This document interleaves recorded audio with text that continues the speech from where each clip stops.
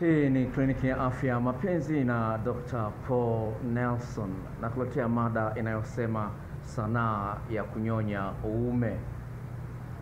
Sanaa ya kunyonya uume.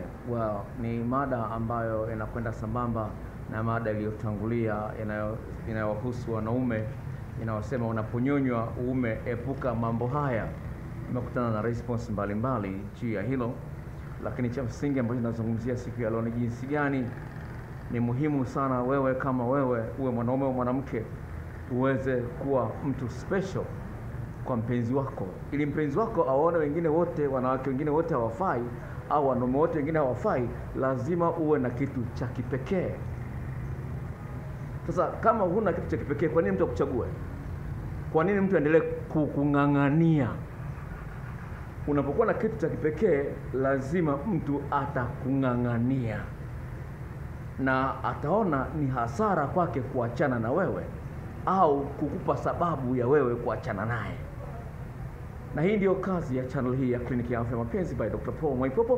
Na nataka nikwambie hivi, ushahidi nilionao wa kutosha juu ya mahusiano ya kimapenzi yanavyobadilika na mtu anavyoweza kusababisha au ng'ang'aniwe ni jambo ambalo nilipenda nilizungumzie na nilipenda nilete umbea kidogo.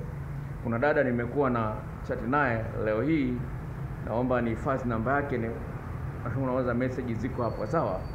Naomba nisome message hii, ni ya kushangaza kidogo, lakini ina nguvu. Nisikilize.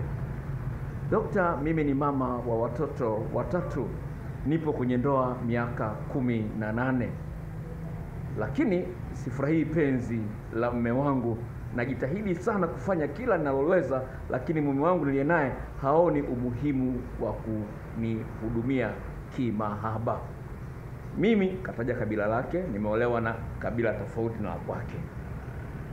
Anasema hana muda wa kukaa na mimi, yeye akirudi ni kujua kunikurupusha tu, hawezi hata kuniandaa. Kwa kweli najikuta naumia sana, kwa sababu uchi wangu ni mkavu sana, kwa hiyo nahitaji muda mrefu wa kuandaliwa. Sasa nimepata kijana mmoja, nimemzidi miaka mitatu, amemtaja kabila lake. Kwa kweli mapenzi anayonipa sijawahi kuona toka niingie kwenye ulimwengu huu wa mapenzi ananinyonya kisimi mpaka nakojoa, ananibembeleza, ananisifia, ananiambia mpenzi wangu ni msafi, uke wako ni mdogo, ni mtamu sana, siishiwi na hamu ya kufanya mapenzi na wewe.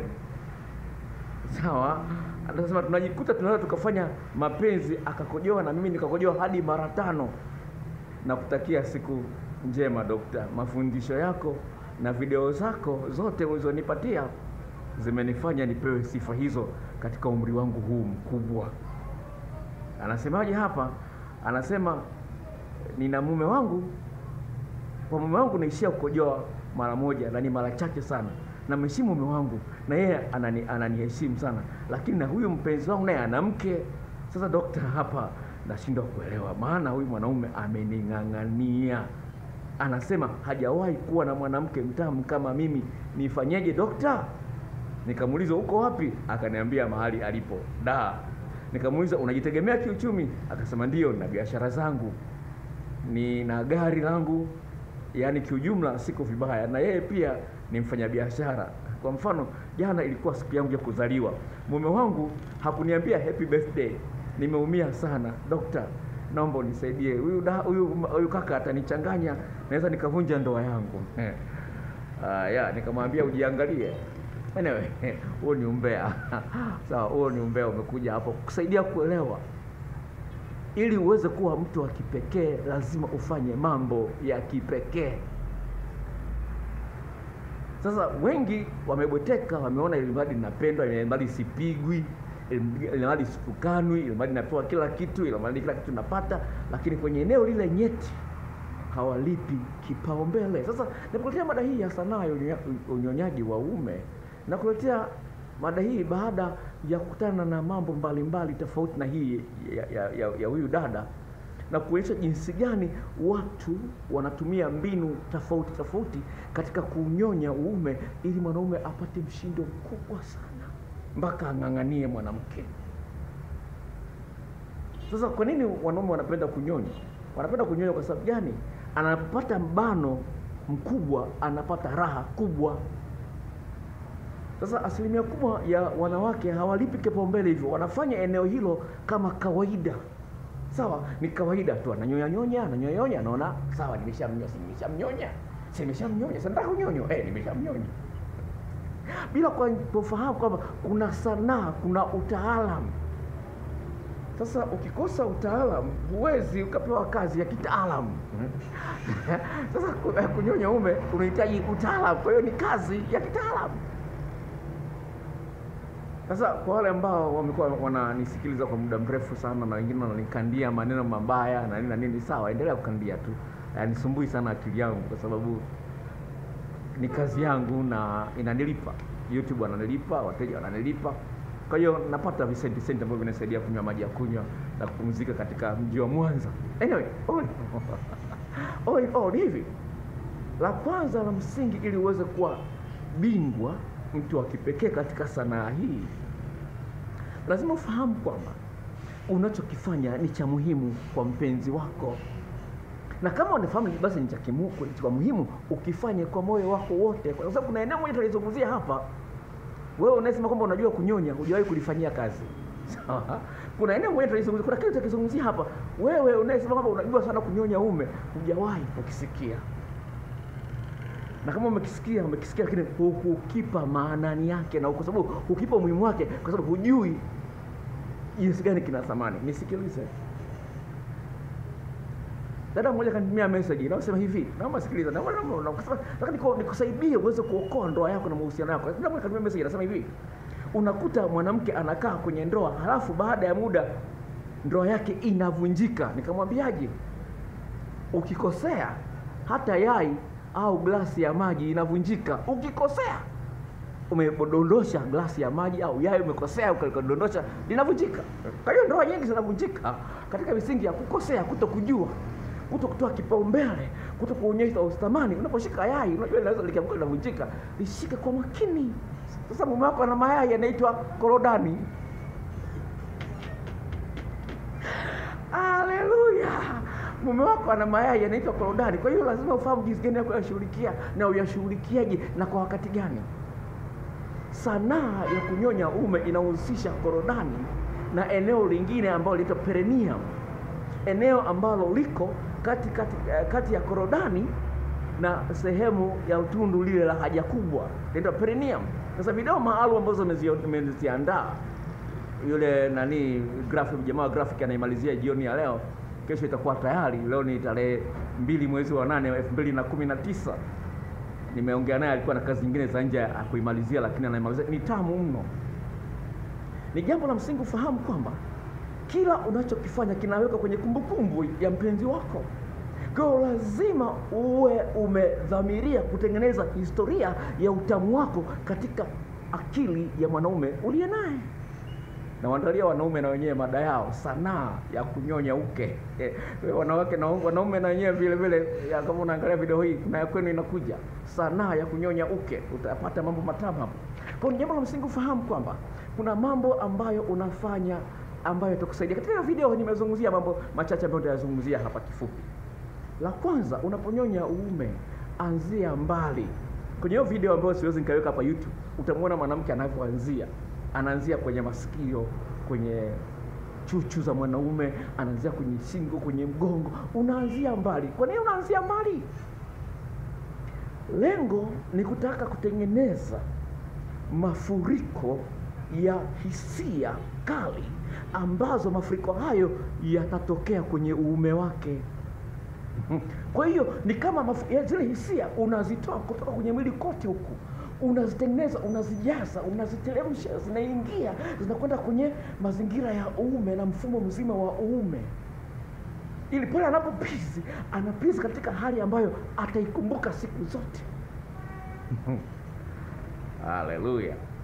Sasa shida ni kwamba wale ambao wanafanya ili mradi mradi tu si nimemnyonya, ah, anataka kunyonya, nimemnyonya, nimemaliza. Hawajui kwamba kuna mambo muhimu yanayopaswa kufanywa,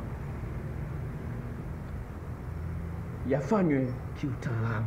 Jinsi gani unatumia ulimi wako kugusa maeneo muhimu ya uume. Sio kila eneo la, la uume lina, lina, lina hisia nyingi kwa mwanaume, sio kila eneo.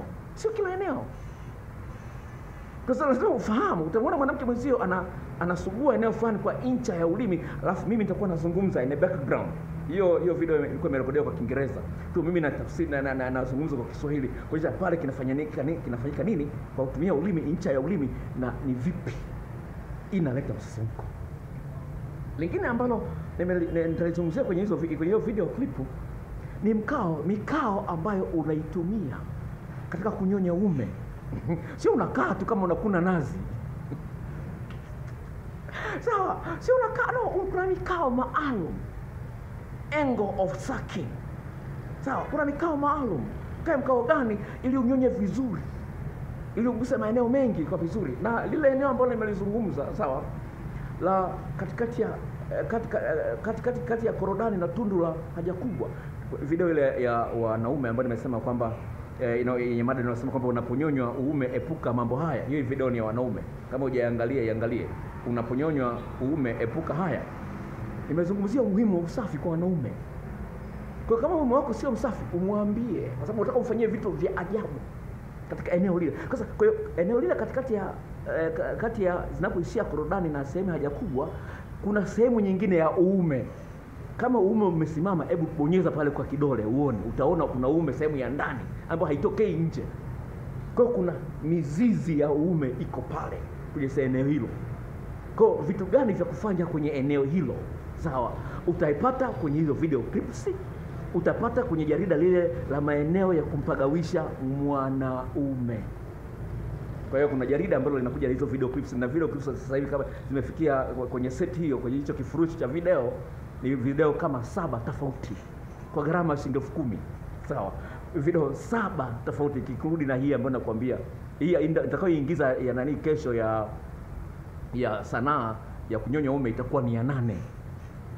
Kwa hiyo sio vitu vichache, na jarida moja la mambo ya kumnogesha mwanaume, kumpagawisha mwanaume. Kwa hiyo hayo yote yamo kwa jarida hiyo. Kwa utaona maelezo ambayo yatakusaidia kuwa mpenzi mtamu kama huyu mama anavyosifiwa. Sijawahi kuwa na mpenzi mtamu kama wewe. Huyu mwanamke anasifiwa, ana umri wa miaka arobaini na sita mama mwenye umri wa miaka 46 anasifiwa. Wewe mwenye miaka 26, lini umesifiwa kama hivyo?